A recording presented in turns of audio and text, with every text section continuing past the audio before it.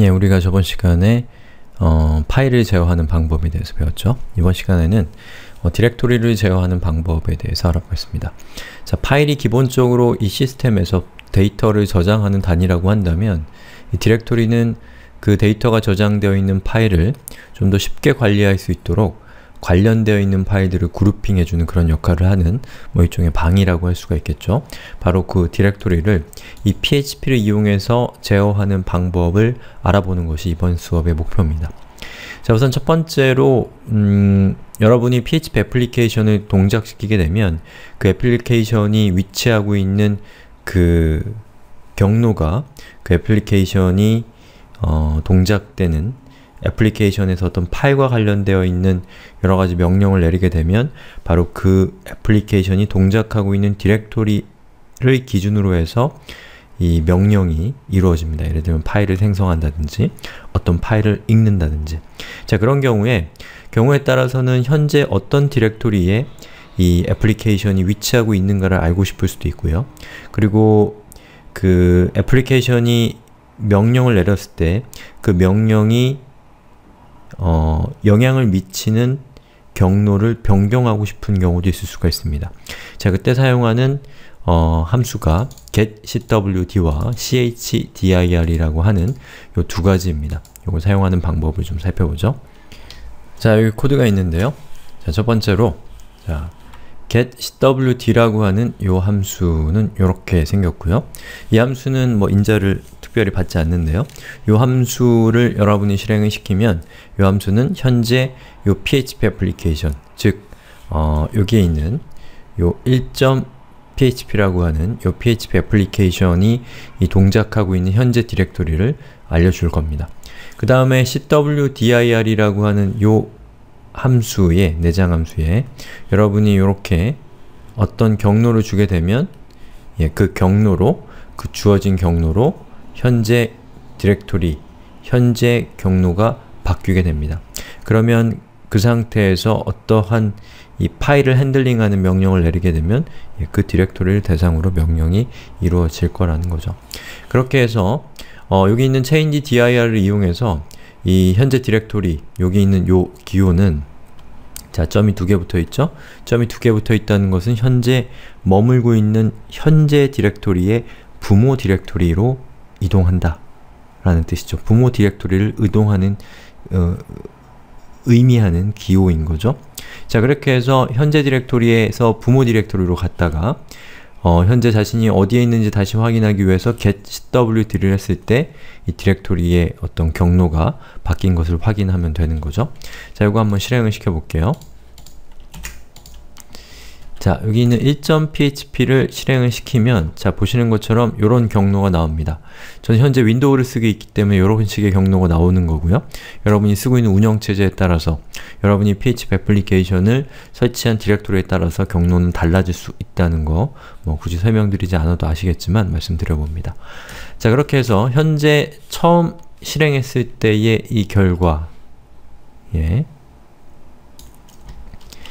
처음 실행했을 때 결과는 요거고 요 결과는 바로 첫 번째 나온 getwd 라고 하는 요것과 예 요것에 대한 결과인 거죠. 그쵸?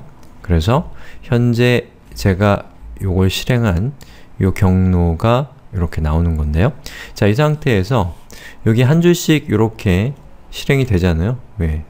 소프트웨어는 자 그러면 여기 있는 요것이 실행이 됐을 때 예, 현재 머물고 있는 디렉토리의 부모 디렉토리로 이동하면서 경로가 어떻게 바뀌었나요? 예, 보시는 것처럼 이렇게 바뀌었습니다. 그쵸? 그러면 어디가 정확하게 다른가요? 예, 자 여기에 있는 디렉토리라고 하는 이 부분이 여기에는 없습니다. 예, 여기에는 없죠. 그 얘기는 현재 여기에 머물고 있다가 이 명령이 실행이 되면서 예, 그 부모 디렉토리로 이동했다는 뜻입니다. 자, 그래서 여기 있는 요것은 예, 여기 있는 요 명령을 실행한, 요 내장 함수를 실행한 결과가 예, 바로 이거라는 것이죠. 아시겠죠? 자, 그 다음에 살펴볼 것은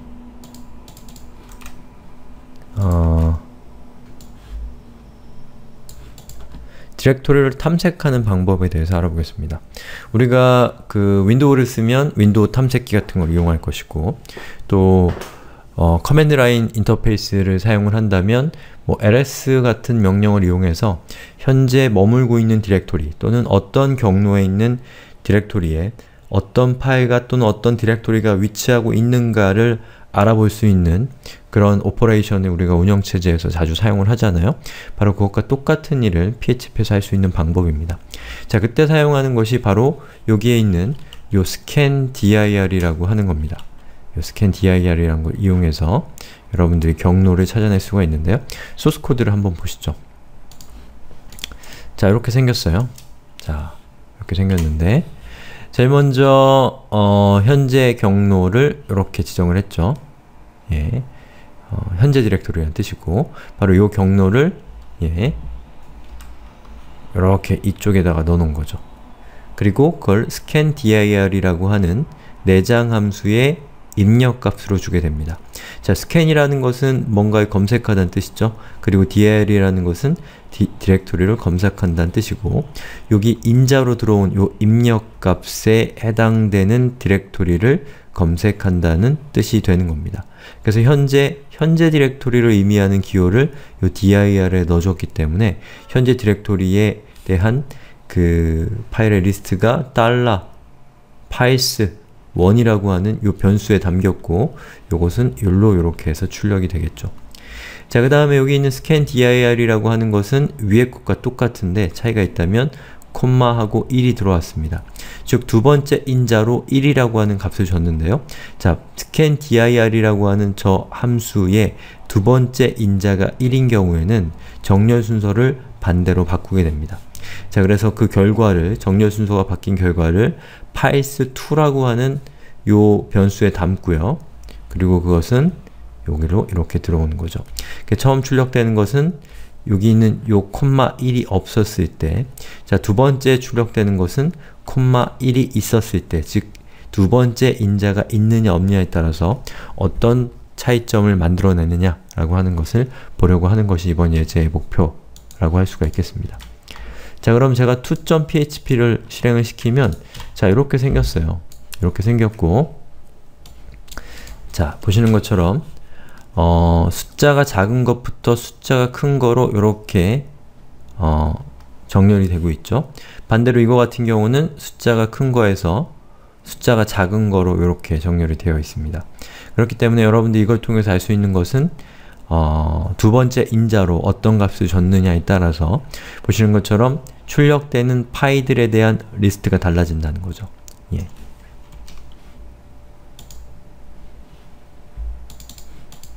자, 그 다음에는 디렉토리를 우리가 탐색하는 방법, 디렉토리를 여러 가지 제어하는 방법을 알아봤으니까 이번에 살펴볼 것은 디렉토리를 추가하는 방법에 대해서 알아볼 겁니다.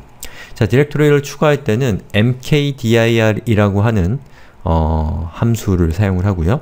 이 함수의 첫 번째 인자로는 첫 번째 인자는 생성하려고 하는 디렉토리의 이름입니다. 자 그리고 두 번째로는 그 생성한 디렉토리가 파일상에 어떠한 권한을 갖고 있을 것이냐라는 뜻이고 여기 0700이라고 한 것은 이게 오너용의 other 그리고 이게 아 이게 오너고 이게 그룹이고 이게 other이기 때문에 자 여기 있는 그룹의 그룹의 사용자에게 쓰기, 읽기, 실행 모든 권한을 다 준다라는 뜻입니다. 자, 그럼 세 번째 true라고 되어 있는 것은 요 첫 번째의 인자로 들어온 요 디렉토리의 경로가 만약에 어, 없다면 이 경로에 이 경로가 존재하지 않는다면 이 경로를 예, 만들어 준다 라고 하는 뜻입니다. 만약에 현재 디렉토리에 1이란 디렉토리, 그 밑에 있는 2라는 디렉토리, 그 밑에 있는 3이라는 디렉토리, 그 밑에 있는 4라는 디렉토리가 존재하지 않는다면 여기 있는 세 번째 인자를 true로 하고 요것을 실행을 하게 되면 요 1이라는 디렉토리를 생성하고 그 안에 2라는 디렉토리를 만들고 그 안에 3, 그 안에 4라는 디렉토리를 한 번에 쭉 만든다라는 뜻입니다. 이런 것들을 재귀적, recursive라고 하는데 요거는 그냥 참고 삼아 알아두시면 됩니다. 자 그러면 요걸 한번 실행을 시켜보죠. 자 여기 있는 요 웹페이지로 접속을 했을 때 자, 여기 있는 거 요걸 실행했을 때이 디렉토리가 어떻게 바뀌는지를 보세요. 자, 실행을 하니까 1이라는 디렉토리가 생겼고 2가 생겼고 3이 생겼고 4가 생겼습니다. 자, 이렇게 해서 우리가 디렉토리를 제어하는 방법에 대해서 알아봤는데요. 이 디렉토리는 어떻게 보면 파일을 담는 어떤 컨테이너로서 어떤 의미가 있기 때문에 이 디렉토리를 제어하는 방법에 대해서 여러분들이 잘 알아두실 필요가 있습니다. 이렇게 해서 디렉토리에 대한 사용법을 이렇게 마치겠습니다.